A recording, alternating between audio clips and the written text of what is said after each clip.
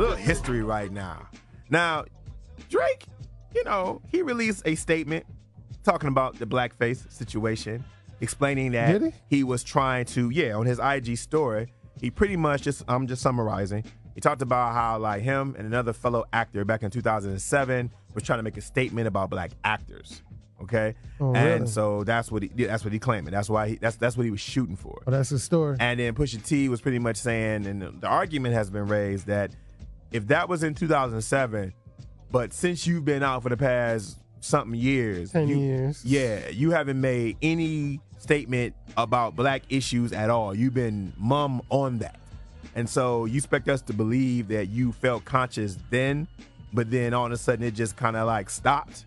Now I know they got they, you know, the beep and squash and all that. We're gonna talk about all that. But my thing is, when it comes to the blackface situation, when Pusha T pointed that out, which stood out to me more so than the son situation, is that something we're believing Drake about?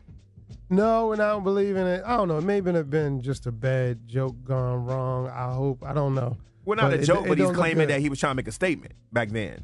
Yeah, I haven't heard him say. I haven't heard him talk about no um, no problems really going on in the black community.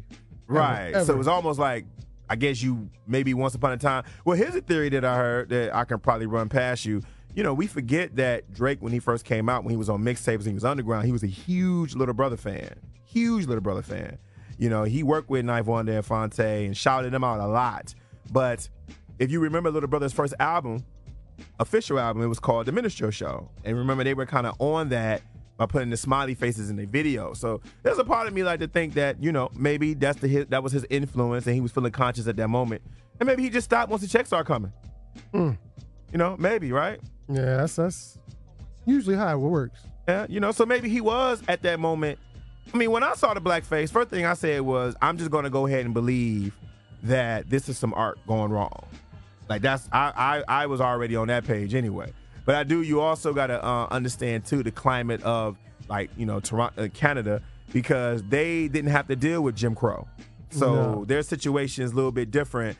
And as someone I can tell That you, that was the free land. We was trying to get there. well, as someone who grew up in Detroit and grew up, you know, interacting with people from Canada, they some of them, not all, used to kind of look at us a little bit, kind of like, you guys think everything is racist, and we used to be like, it is. Like- but there was always that you guys are you guys are overreacting. We used to be like, no, like no, we're not overreacting. that serious. It's that serious. But so there was a lot of things that we felt like we saw that they didn't see. That was my experience growing up on that side of town. So I don't know, man. You know what I mean? Um, with Drake, he's been quiet since then.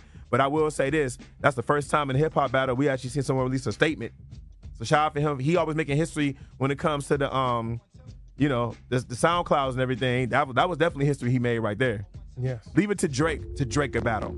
Track.